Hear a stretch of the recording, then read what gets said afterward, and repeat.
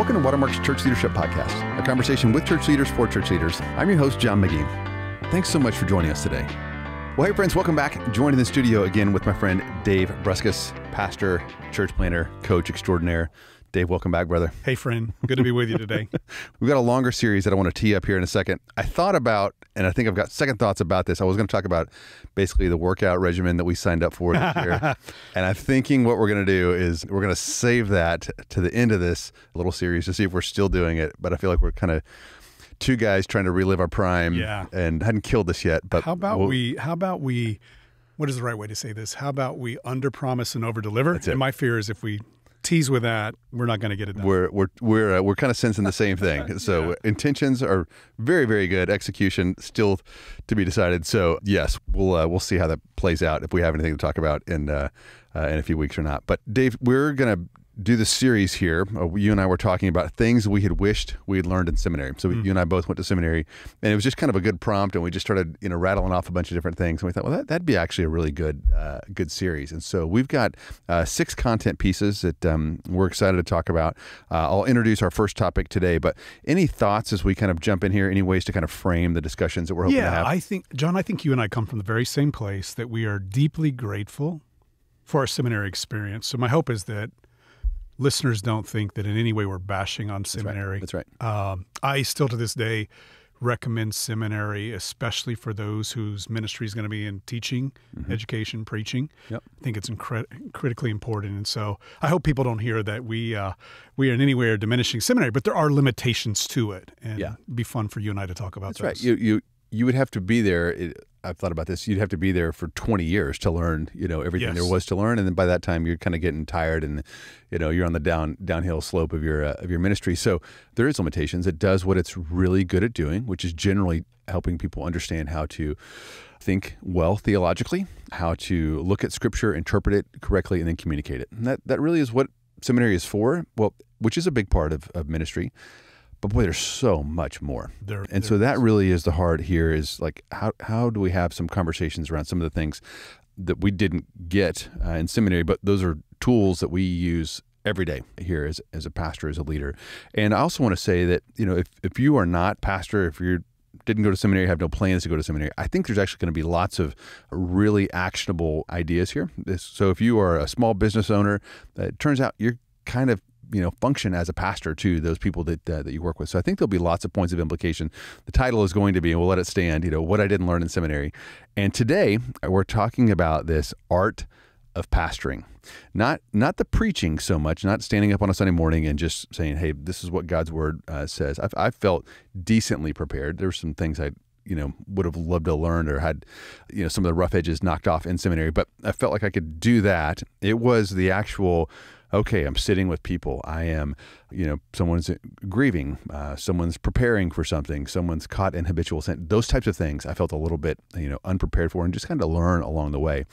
And i and i told you before we hit record i i think uh, we'll start with this. I think the thing that seminary taught me how to do was to speak but turns out, as a leader and as a pastor, a lot of what we need to do is to listen. And I didn't learn that skill. And I'd, I'd love to hear uh, any thoughts you have kind of on that one. I think that's right, John. I, I think that I, I was well prepared to teach, uh, to, to to preach. Uh, I was well prepared to think about the world from a Christian worldview and think even theologically. What I wasn't prepared to do was how to interact with people relationally and pastorally Yeah. in the day to day, everyday life type ways. Yeah. So let, let's talk about one that I, I don't remember being, you know, trained in any way. Let's talk about this like listening to someone's confession. If Okay. Someone comes to you and they say, hey, I got something I want to confess or something I want to tell you. What, what did you not learn in seminary? What what have you learned now, really, you know, after being a pastor for, for all these years? I think it's such an important category in my experience, and I know mine is different than everybody else's probably, maybe some overlap. The two most common things that I've experienced in pastoral ministry is one, someone coming to you confessing something, just wanting to be assured that they're forgiven. Hmm. And the other thing is the question, what's God's will for my life practically? Yeah. Do I marry this person? Do I take this job? And so, so it's a big deal knowing how to respond in the, in the time of confession. I oftentimes address the issue without really understanding it. In other words, I didn't listen closely enough. Yeah. And I had a script pop up in my mind very quickly of here's the verses I need to bring to the table, here's the specific things I needed to say, almost a generic assurance of pardon with my go to verse, rather than listening and even asking follow up questions about the confession and and what that does although that certainly points a person to who Jesus is in that moment and that's the most important thing we ever do sometimes we can leave things on their chest by not giving enough time and space to talk it out. And so p- part of part of taking a confession is being quiet, Yeah. listening, asking a follow-up question like, "Hey, what more do you want to tell me? Yeah. What what more is there to this?" And so uh, it took me a long time to learn that. How about you? Was that your experience as well? Yeah, it's really it's really good. Just the uh, what I resonate with is the jumping in real quick. Yeah. You know, it's like Yeah. oh, I've got a good verse. I've got a I've seen this before. I've got three three points that I want to I want to give you. And, what I've been telling others in the last several years, I can't remember what we've talked about this on the podcast, but you remember it's a circus, like you would see this clown just pulling these scarves, you know, either, either out of his mouth or his Yeah. pocket or something. I don't even know what. And and a confession oftentimes is like that. Each each thing is a bit of a precursor to something else that's coming. It's just something else that's coming. And oftentimes, because maybe you've seen it before, you have an answer, and clearly all you want to do is help, you jump in real quick and say, let's talk about that thing there. Well, what happened was you really did short circuit this process where they only were going to confess in these little these little bits. And really, I think they're trying to see how you're going to respond uh, to that. Yeah. And so if you're shocked, if you put shame or guilt on them, or you just admonish them right away, and, there, and there's there is a time to admonish for sure. But if that's where you lead with, then you you know it's kind of a silly metaphor, but I think about this actually when when people are talking that I'm about to short circuit you know those those you know scarves coming out, and I'm only going to get the part that they just released because if I jump in right now, I won't get the rest of the story. And so and I think it's good, Dave, just being being quiet and um, just being there in that in that moment. It's a pretty holy thing to sit in someone's con- confession where they're you know they've done something they're ashamed of, want to know how to make sense of it theologically, what what next steps to take. And I, I would just say now I know to say less, uh, not more, or definitely to wait till I speak until uh, until I've listened. And I think even just like what you say. I'd be curious. I want to ask. I want to ask you. What do you say as soon as, let's say, I confess to you? What what would be the first thing that you would say? But I I would say whatever it is that you say, whatever it is uh, that you do, however you act. uh, We've said this before that when someone confesses, what happens in the next ten seconds to that person could be the most important 10 seconds of their lives like these these moments are really really pregnant so do you have a do you have a this is what I say when someone confesses. Do you have? Is there something yeah, your first response? I, you know, I, I do. I probably have somewhat of a formula, John. And then I, I, I remember vividly back to one time receiving a confession with a pastor that was more seasoned than I was. So I did, in that instance, have the advantage of a mentor. And when we were through with that first experience, and I botched it in many ways, one of the things he did, he pulled me aside and he said, You're too quick to try to alleviate the sorrow this person is feeling. Like there's a godly sorrow Leads to to this. Let them sit there a little bit in it. I, I, I think probably because I'm maybe even in a gifted way want to be merciful that I can sometimes just want to hey I want to I want to soothe your pain right now and there's a good pain that we sit in when we confess but usually I'll immediately say thank you for trusting me with this uh, I'll, I'll affirm the confession as it is like hey this is a good thing and thank you for doing it. Yeah. but then I'll, I'll I'll pause and and ask the question is there, is there more you want to share? Is there anything you feel like you haven't shared yet? Like keep going or uh, even ask the question how, how are you feeling about this? And what, what more what more would you like to say? So take as much as they're willing to give. And i think there's i I don't know if this was your experience. Oftentimes there's they're looking for visual clues. Yeah, they're looking at body language. they're looking are you going to are you going to be disgusted with what i'm telling you are you going to be disappointed are you going to shut the door in my face and so i i think even just trying to be as aware as I can be without having a mirror in front of me, my body language, and trying to look peaceful and calm and not shocked, Yes. but uh, even lean in physically a little bit more, like physically move a little bit closer to them and look them in the eye and say, "What more? You know, is there is there more you want to say?" That's good. Those are some really, really great practical uh, handholds. And we were with some younger leaders earlier today, and uh, we were talking about this this this topic specifically. You know, about sitting with someone who's confessing, and how oftentimes when they, you know, tell you something, you're your first step is, or your first thought is, you did what, you know, or I can't believe that, and um, which is fine to think. You just can't let it hit your face. You so can't. we were- we you can't. Let, you got to pull like, that jaw off the floor quickly. Yeah, it's and not helpful. A a strategy that I, I use, I still use it, but definitely when I was uh, was younger, was just to take some of that tension and just kind of curl up the toes of my feet, like I, I something. I this like has got that. this has got to come out somewhere. I can't let it come out on my face, and uh, and so that would you know you could clench your uh, your hands under the fish but just yeah, you can't let it out on the face. So so, so good, brother, and uh, and again, um, I think all of this, probably the answer to any of this is uh, practice. It's paying attention. Yeah. Uh, it's asking those who have been there before, ride alongs if you can in any capacity. That's good. Uh, just watching other people, watching other skilled, um, you know, leaders, pastors, uh, shepherd different situations. Um, you know, we can learn a lot from books, but there's just something about either our own mistakes or watching someone else who's really gifted. And that, that'll be the answer to uh, a lot of those. So, uh, one of the things I, I was thinking about just the art of pastoring is the, the whole idea of, um, you know, marrying, burying, Yes. and hospital visits. So, I boy, I've made so many mistakes here, but let, let's start. Uh, we'll go in reverse order. But hospital visits. Yes. Any any wisdom for those who uh, have been to seminary, haven't been to seminary, mistakes made uh, around just visiting people uh, at a time of need. Yeah, I do remember. In, in all fairness to my seminary experience, I remember a brief section of a class on hospital visits. I think I think I had. Do you remember that? Yeah, I think so. Yeah. So and I and I did get some real helpful pointers, but I think there are so many protocol issues in making a hospital visit. And if anything, John, those things have only been increased That's right. That's right. in, in this day of post pandemic health and HIPAA laws. And so I think first and foremost, you really need to think about what are the expectations of the hospital staff. I, I know that may be not the most important thing you need to consider, but I think if you really want to be a good steward and you want to represent the Lord well, stepping into a space and not upsetting the equilibrium of a space, especially if you go in and you serve well the patient, but you disrupt the medical attention that person gets, or you cause some sort of That's good. um, you know, you, you cause some sort of issue to be uh, among the staff. That's not a good thing. So, you know, know what you're stepping into, know what the expectations are. So, usually, I will, I'll even text the person if it's appropriate, or the closest family members to let them know, hey, I'm coming by. That's is good. that is that okay? I'd love to Good. come visit and Really pray with. good. So, number one, I really would like to have permission or a go ahead. Then the second thing I'll do is once I arrive at the hospital, I will check in at multiple places going in. I will check in on the floor. I'll check in with a charge nurse. I'll, I'll, I'll knock on the door and make sure it's okay that I come in. I'll announce my uh, walking into the room before I step into the room. I will certainly look to the patient, but I'll also greet and introduce myself to everybody in the room, especially if there's medical help there. I want them to know who I am. That I noticed at times I think there's fear. I don't know if it's the way I look or the way I dress, but there's times I think there's fear that I might be an attorney, you know, and everybody's afraid of malpractice. And that's the last thing anybody wants to see. That's the last person anybody wants to see Truly. walking into a room. And then I want to be attentive to the person's physical condition. Yeah. And I want to be appropriate with my work. If they're in a lot of pain, I don't want to be lengthy. Yeah.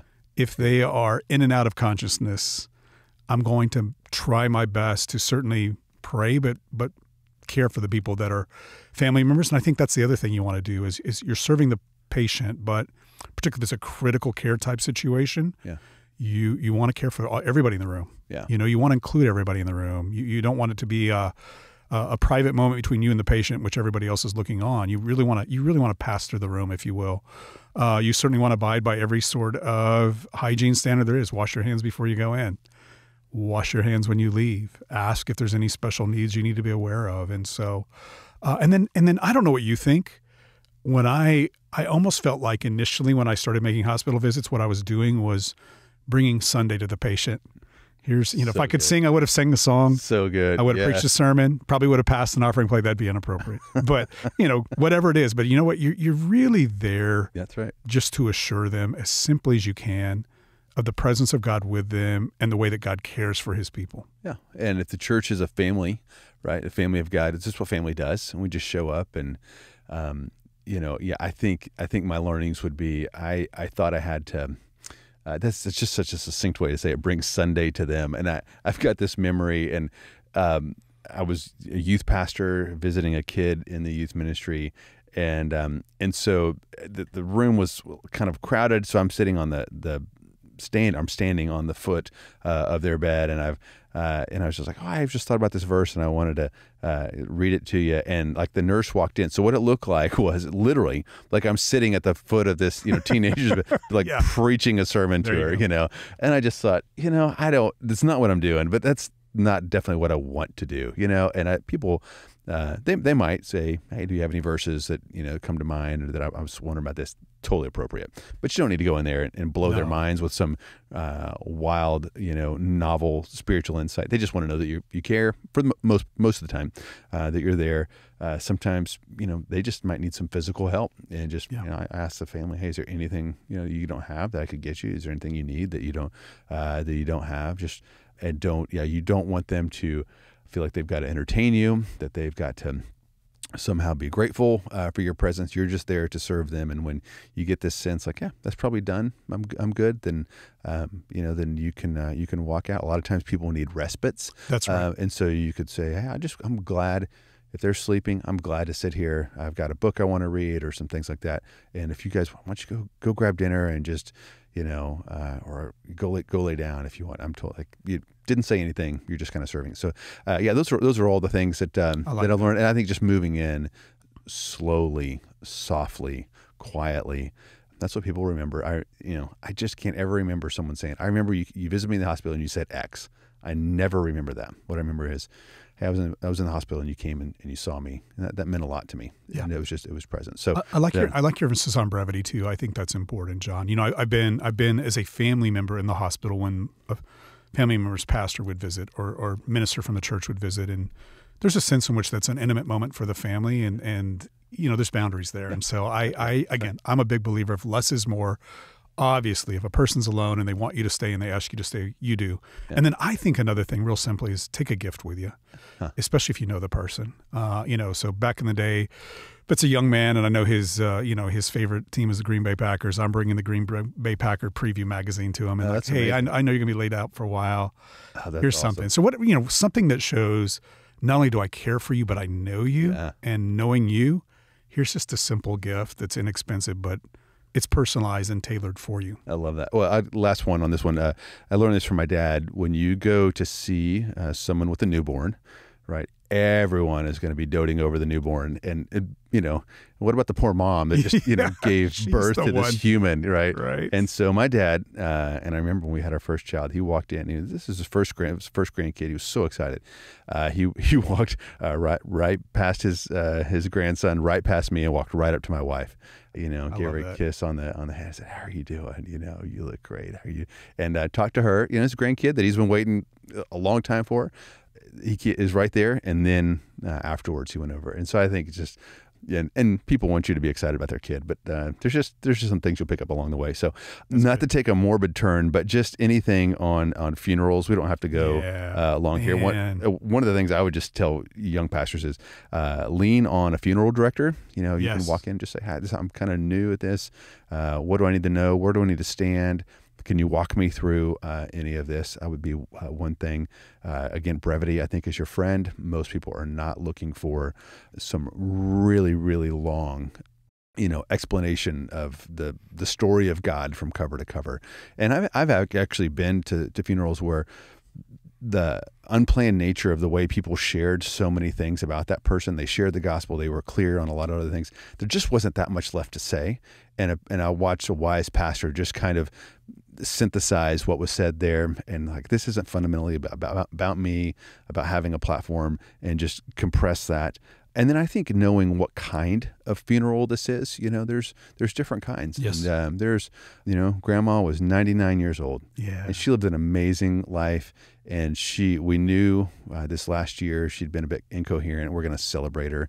Uh, there's the tragic loss of. Yeah unexpected of a, of a new person. Those those are two different different funerals. A funeral of a uh, of a of a new child, you know, mm-hmm. and then knowing who's mm-hmm. in the audience. And um, I, I tell this to pastors um, when you do a funeral like for a parent when the kids are young you know you not to be gimmicky but you know i've done this before pull the kids down front and just go this most of this is going to be over your head but you know just like I, I never went to a church like this as a kid but where a pastor would pull the kids down front you know and second yeah, have sure. kid church for a few minutes you know uh, and just say let's just you know, what are some of the questions you have? I bet you these are some of the questions you'd have. One, did did it hurt? You know, Mm. it's like I don't know. You know, Bible talks about death being like a sting. So have you ever been bit by a bit by a, a bee and it, it stung, but then that was then it didn't hurt? It's probably like that. You know, Mm, that's good. and where where are they now? And and then you know why did this happen? That that's a question I would be asking. And you know, and here's the answer: we we don't know. And uh, I remember one time we did that, and there was like a, um, you know, like a, a Persian rug uh, right there. And I can't remember if I op- pulled it up or not, but just talked about how from the bottom, and I can't remember, that's probably Spurgeon's. I think this is Spurgeon's illustration. You know, from the bottom, a Persian rug looks like a big knotted mess. Yeah, sure. Uh, from the top, it makes a lot of sense. Yeah. You know, and just, hey guys, That's a good I know this doesn't, it just doesn't make sense. This is pretty knotted. It's pretty ugly. I, I know. But can I tell you what? Um, your mom is on the other side. She's with Jesus and she's looking down. And someday we will, and, and it'll make sense. And, but it's okay if it doesn't. It, it, it may not. But we can still trust the heart of God. You know, so just just shepherding the kids there. And honestly, those probably the time you do that with little kids. The adults will that will be the part that they lean in uh, the most. You know, and and so you ju- but you're gonna have to do that. And you're gonna have to be nervous. You're gonna have to uh, fumble your words, but there's the art. There's the art of being with people uh, in in grief, different situations. That is part of the part of the joy, candidly, of being a pastor, being a leader. But uh, it's going to take take some you know some uh, just learning and some reps. So, any other thoughts just on on yeah, funerals? that's good. Well, a couple things come to mind that are probably pre-funeral type things, John. One is, and, and I didn't know this. No one taught me this before I showed up in ministry, but I did have on the staff that I first was a part of a man who was a seasoned expert in pastoral care. Love it. So one thing you can do, especially if we're talking about the segue between the hospital visit and or the passing and the funeral, if you will serve the family and be the point of contact to whatever the next step is, that's so helpful to the family. Like, you know, say to the widow, do you have arrangements planned? Yes, I do.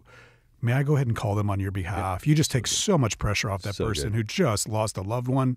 And the last thing they want to do is start tending to logistics.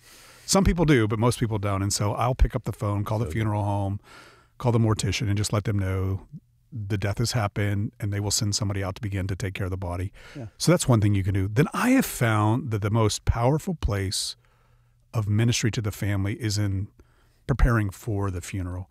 When you gather the family together in their home or wherever it may be, you start talking about what they want for the service. You ask them about their, their memories of the loved one they lost. You ask them about things that matter to that person.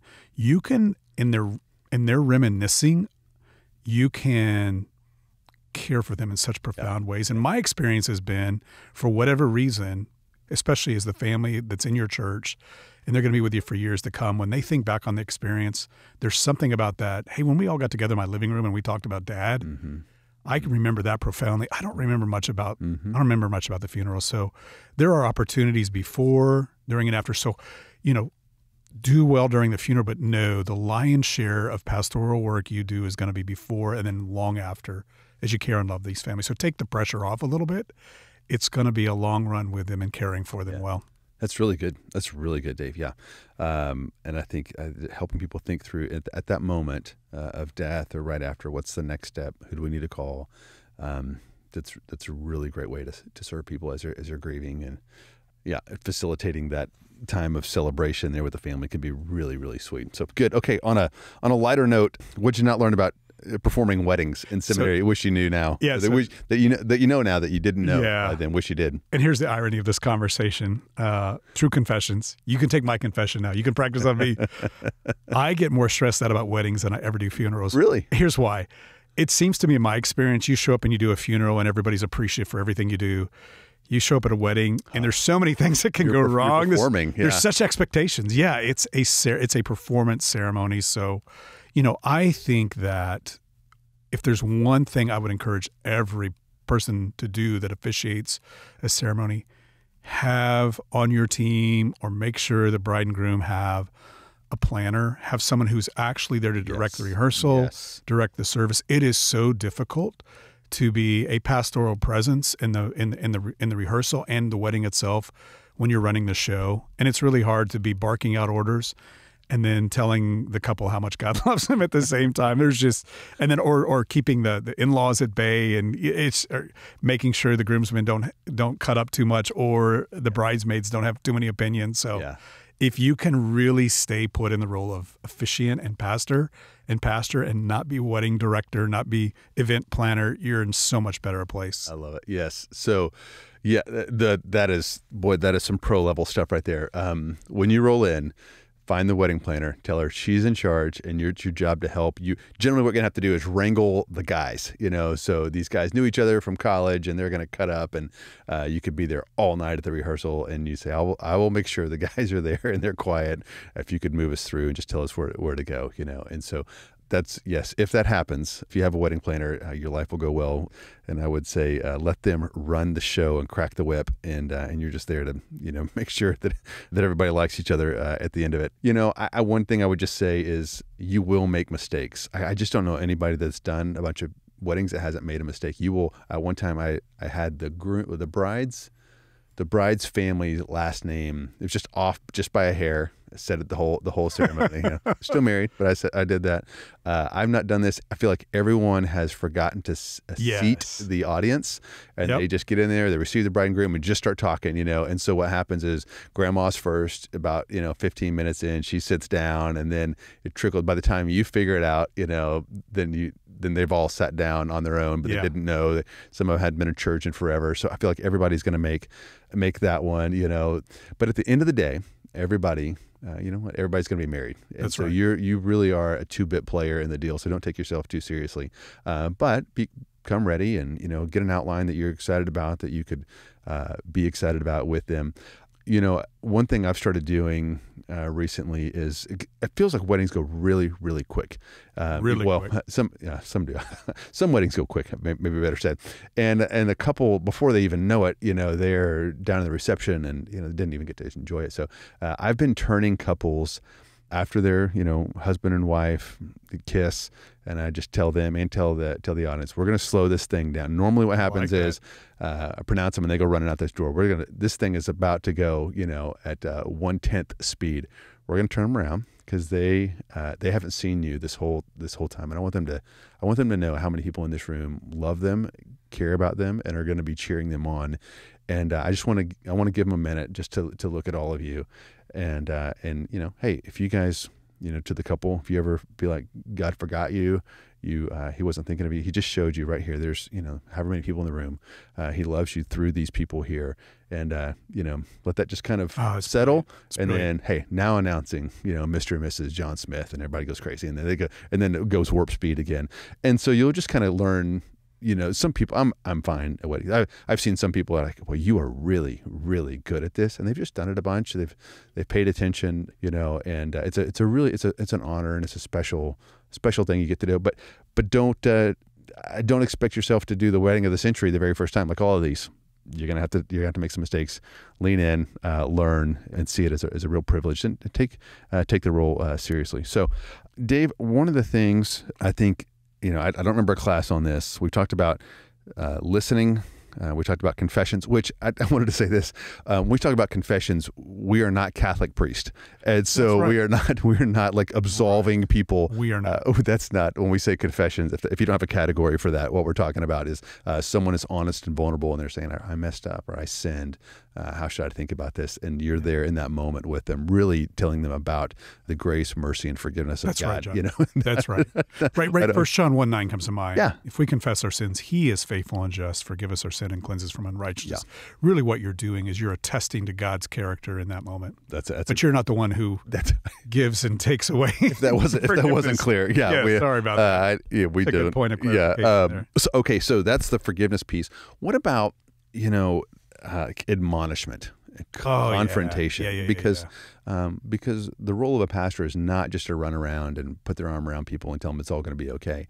Uh, sometimes there's sin in an individual's life. Um, sometimes it affects uh, not just them but their family. Sometimes it affects the church, and it's your job as a response. You know, it's your responsibility if you're you know a shepherd uh, to protect the flock, or if you're a business owner and you've got a team of twenty, like and something's going awry, like you have to lean in. So, what'd you not learn? What'd you wish you had Yeah. in seminary about that? you know, something I should have known if we were to think through this category in two, two, two dimensions. One is context, and maybe the other John would be content. The context of it, and you see this in the Bible. You see this in 1 Timothy 5. We treat different people differently according to their age and status, right? So so Paul warns Timothy, treat an older man like your father, you know, an older woman like your mother, a younger brother like your younger brother and a woman like your sister in purity. So we get this sense that not all not there's not one size that fits all in the way you talk, in the tone you use, and the approach you take to a situation. The other thing is, I think what I wish I would have known is there is there's a slightly different approach when someone is acting foolishly, meaning they're not necessarily violating any specific biblical command. There's not a word that you could pick that's a Bible word that that they're guilty of in the realm of sin, but they're just not being wise. They're they're acting foolishly. There's a way in which you address someone in that category than you do when someone is just blatantly in sin. And so I think it really helps to be well prepared. Yeah. I know sometimes these things happen in the moment and you just you just you just move forward and you trust the Lord because it, it sometimes it requires an immediate response, but when it doesn't, be as thoughtful as you can. And then what I found to be super helpful is memorize two or three talking points, have them in your head, and then uh, audible as you need to as you walk it through. But you're not going to make any impact if the person can't hear you or doesn't hear you, if they don't understand what you're saying. Hmm.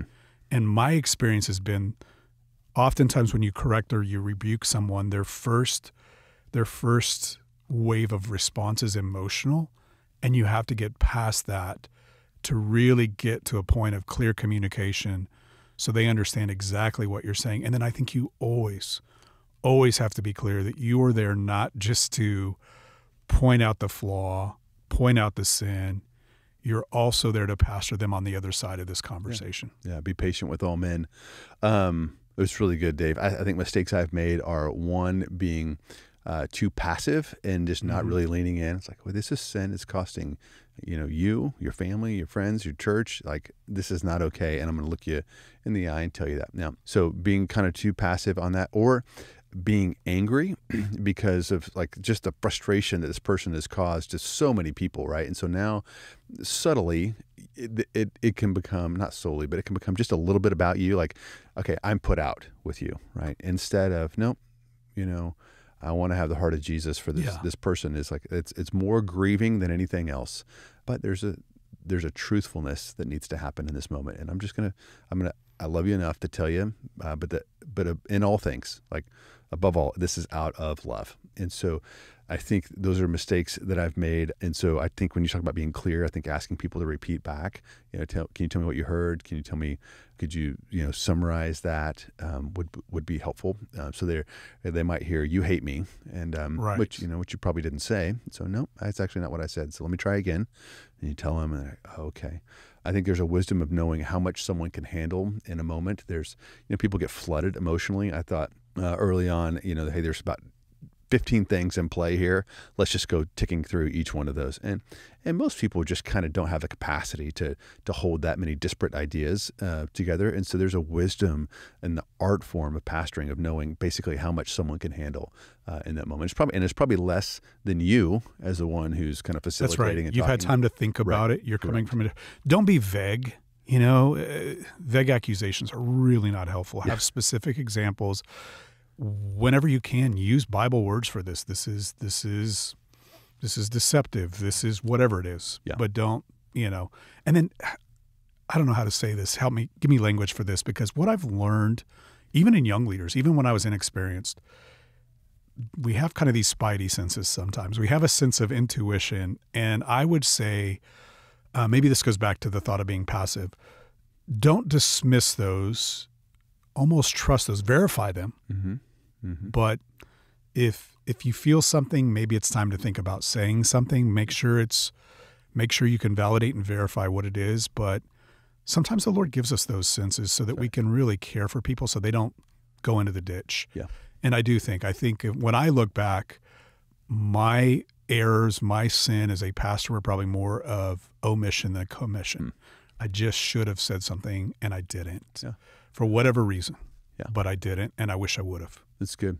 Hey, can I ask you a question? Or I'm not even sure if I'm right, but I wanted to let me say this out loud and let's just let's just talk about this or you know any of those kinds of things and so that you don't have to paint them into a corner and That's say I, I've got I just got a hunch this is in play I just want to ask you but I don't I don't need to come out swinging and say definitively that's that's really really really good well that will be you will make some mistakes on that it's it's just part of it and you need to lean in, keep learning, keep asking others, watch other people, uh, and know that you know Jesus is with you. I just pray a lot of times like God, I, I, I lack wisdom. I'm asking you, would you give it to me generously? Please, you know, I want I want to serve uh, this brother or this sister really really well here, and would you help, would you help me do that? Well, I know, think I think John, when when you do make mistakes in that realm, rather than being uh, overcome with uh, discouragement, understand that you now have the opportunity to go back to that person and own some things, Yeah. and you actually can model for them, it's good. not a manipulative way, not in a, not in any sort of insincere way, but you can actually show them what it looks like to say, you know what, I, I came on kind of strong.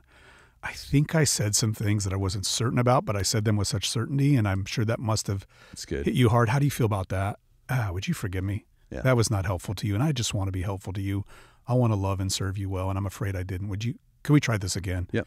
And um, there's just a way in which you lead. You lead by example, and I think that's a good way to do it. Yeah, it's good. And you have to be okay with people not liking what as you pointed out. right. You know, like, well, you're not my friend now. I, mean, I, Yeah. There's people that, yeah, I mean, as you you want to be honest here. There's people that will not talk to me Mm-hmm. uh, now because, you know, of sin that I pointed out. Tried it. Maybe I didn't do it great. I, you know, on some of these instances, like I think we could replay the tape and I at least got a passing grade. Um, Yeah. But they didn't. They didn't want to hear it, and so that's just that's just part of it. And uh, you're responsible. If you know, it's a little bit different if you're running a small business, but if you're a pastor, uh, it is your responsibility uh, as a shepherd uh, to point these things out. You know, over Mm-hmm. Yeah, time, and just good. walk with people. And people people take a lot longer. I take a lot longer uh, to change than I wish was the case. And so just being just being there, being patient with all men, knowing that uh, you can point someone's sin out, and it probably doesn't mean that tomorrow they will wake up and it will never be an issue ever again. Uh, you're just gonna have to walk with them, just as others have been really, really patient with you, just as God has been patient with you. Um, we want to give that same patience and grace uh, over a long period of time, and and not be frustrated uh, when people act like. Um, they're still being sanctified, you know. It's like Yeah. we- shouldn't be surprised. Well, I think I think one ditch we can fall into. I, I've seen this happen a lot. A person when they don't necessarily agree with your perspective, or it feels to them like an attack, what they will do is they'll change categories. They'll take what is a confrontation over sin and make it about a personal conflict, Yes. and that's where you got to stay out of that ditch. You got to be clear. Like, listen, this isn't about me and you. This isn't about you and I having some sort of personality conflict. This is something else, and you want to bring it back as much as you can. You can't make a person feel that way, but you can be very clear in your communication. This isn't me against you in any way whatsoever. Actually, I'm for you, and that's why I brought I've, I've brought this to you, and I'm actually here to work this through with you. Yeah, that's good. I thought we'd we'd give a lot more missteps. I'd planned I'd planned to. So let me tee up this one so that I can tell you one of my uh, just a funny story. Uh, one of the things I didn't realize.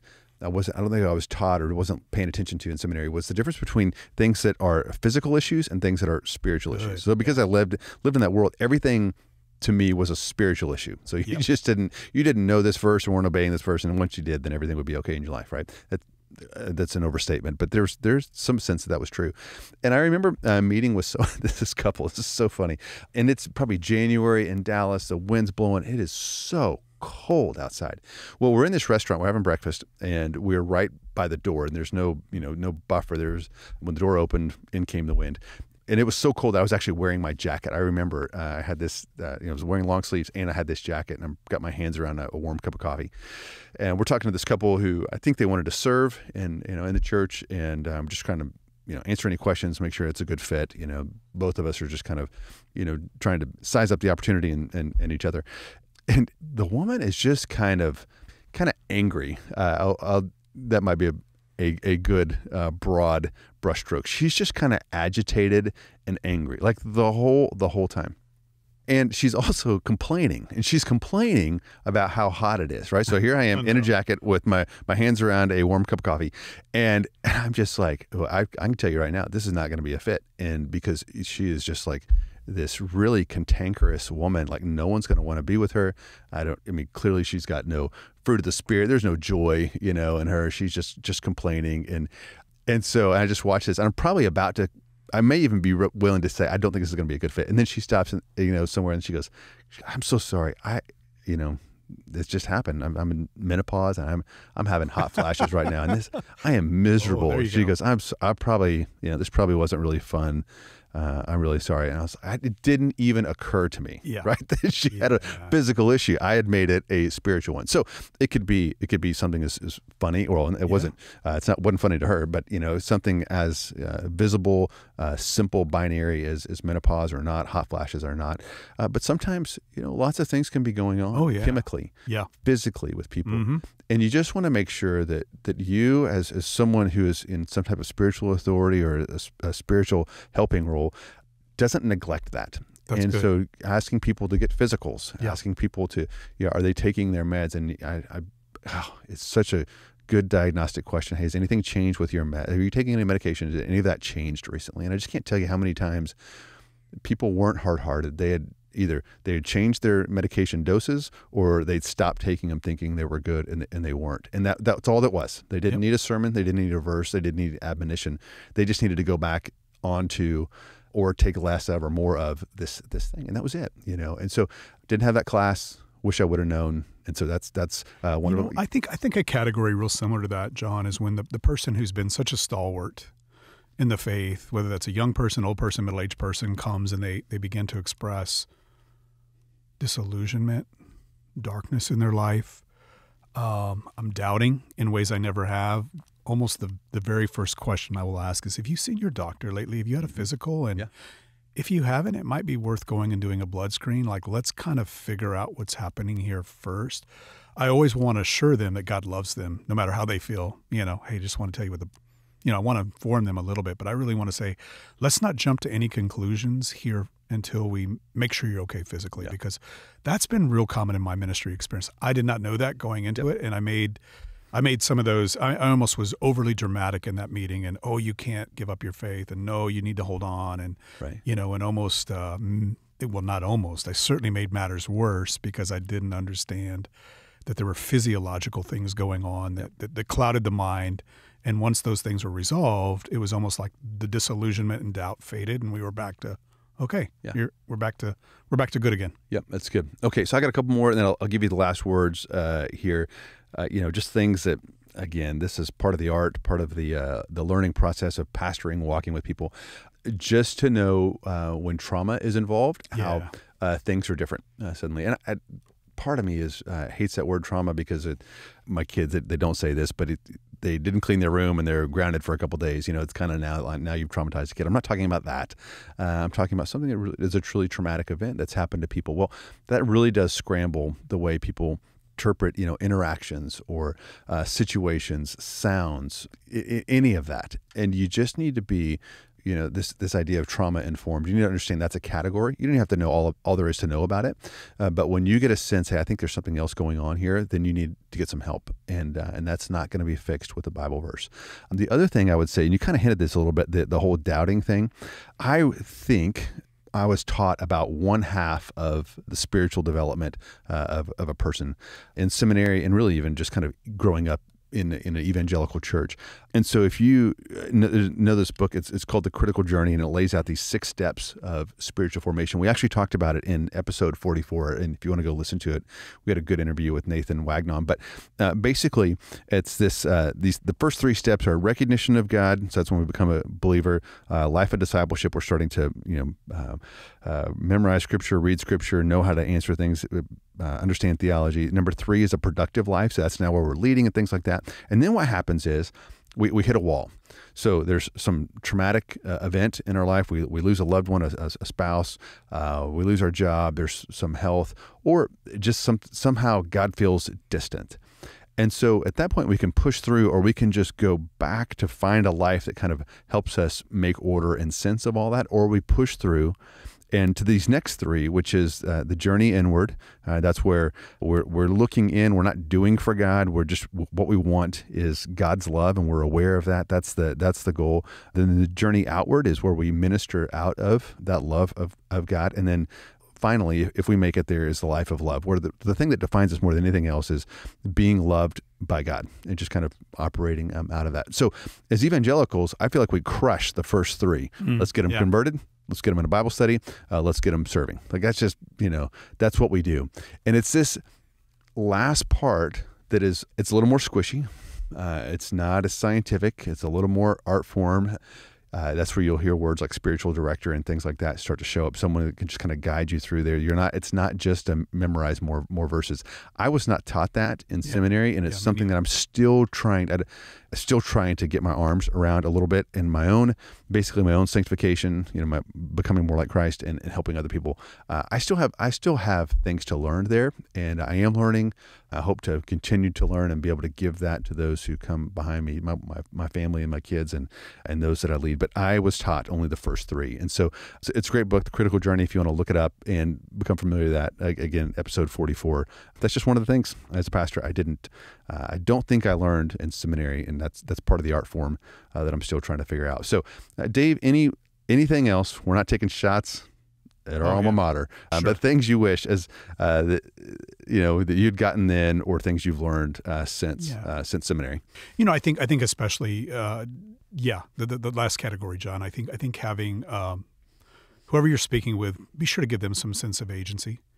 You know, hey, if at any point in time you don't feel good about what we're saying, or it's not making sense, or you need a you need a break, let me know. And then I always believe I'm just not a big. The more I've been in ministry, the less I am committed to a one-on-one model. You know, mm. I really think if there's if it's going to be a harder conversation, especially with someone that you think has probably been traumatized or had a difficult past, I'm always about bring an advocate with you. Bring somebody with you. It, this, if it's okay, you know, and we need to dismiss that person because you want to speak more privately, that's fine. But if you want to, bring a friend, bring somebody from community group, bring someone you love and trust so that we can have this conversation together just to avoid any sense of traumatizing a person. You don't want to have any appearance of spiritual abuse or bullying in those conversations. So that's good. You know, I think uh, to, to, to answer your question about what I think two things would have been really helpful for me to know more about. One would be how important it is to be on a team in ministry, even if you are a solo staff person in a in a in a certain church. And you can build teams around you, even if those roles are informal. You can bring people from the outside and have a sense of help me. I don't want to go it alone. I think my biggest mistakes were because I felt alone or I was embarrassed to ask. So I think I think having a team and then I think it's a good thing to ask for help. It's a good thing to, when you go into situations you don't know what you're doing, whether you have that person again on your team or you don't, you have that person. Um, I think now that I'm an older guy, I think there's a sense of younger men and younger women, they're afraid to ask for help because the sense is everybody in this world is so busy, nobody's got any margin. I love when anybody asks me, "Hey, can you help me think this through?" And I I don't think I'm alone in that, John. I think people who have ministry experience have a God given sense of joy in passing on what they've learned. So, all that to say, I wish they would have told me in seminary that very last day, maybe right as I got my degree, hey, let somebody else pay your pay your dumb tax if at all possible. Like, Go find, find somebody and ask questions and learn that way because you will learn. You're learning in ways that aren't even you're not even aware of right now until this situation arises again, and you will quickly remember, oh, I've done this before. I'm not going to make the same mistakes again. Pattern so be encouraged. That's good. Don't give up. You that, will learn, and someday you'll be in the position to help others out yeah, as well. That's right. That's right. And as you do things that matter, you know, we've got the promise of Matthew 28, yeah. uh, 18 to 20. Like Jesus right. is with you as we go and make disciples. We try to invest in the church, just serve others. Generally, whatever it is that we do, we do things that matter to God. He's He's He's with us, and so we Holy Spirit we, is we so sufficient, yeah. John, in helping us where we, we're just we're, we're ignorant or we're insufficient, he steps in and he helps us. He gives us wisdom and guidance. He absolutely does. He's there, and he loves he loves his people, and he will help you serve. Well, I wish I had I wish I had this podcast, you know, a long time ago. I would have saved myself and, you and, and others. Both, so, uh, so brother, thanks so much for sharing. And thank you, uh, friends. I hope this was helpful. Maybe one or two ideas you can just kind of, uh, you know, and some of it wasn't even uh, the answers as much as it was just the categories. And there might be something just kind of pay attention to, go learn some more about, go ask someone else, how would you handle this? How do you handle this? What have you learned? Uh, that might be the real value uh, in this. So we've got some more topics that we will be dripping out here in the next few weeks. Really excited about. But Dave, again, thank you so much. And then friends, as always, we appreciate you listening in. If you have any questions or comments, you can reach us at clp at watermark.org. That's clp at watermark.org. We'll talk to you again next time.